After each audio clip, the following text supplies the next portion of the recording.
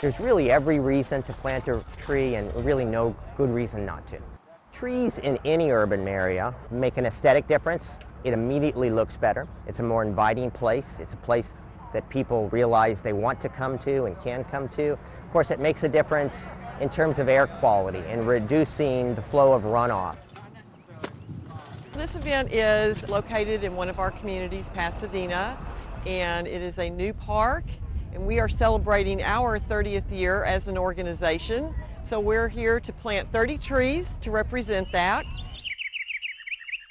This beautiful park right here, there was a partnership between the City of Pasadena and Jack Morman County Commissioner.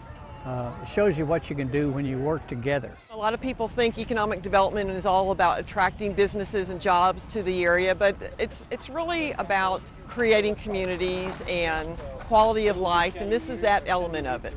Gosh, this is this is a, a, partnership between the county and the city that's worked out well. I don't know how many of you remember what used to be here, but these apartments were deplorable. Deplorable not only when it rained, but deplorable for just the people to live in it.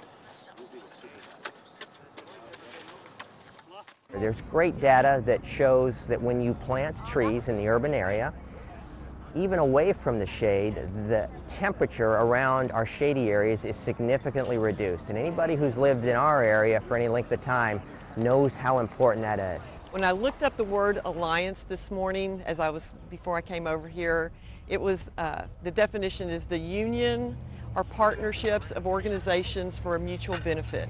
And that's what we're here. We are working with our partners to try to create a vibrant community in our area.